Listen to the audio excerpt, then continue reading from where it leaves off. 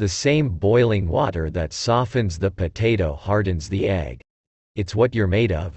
Not the circumstances.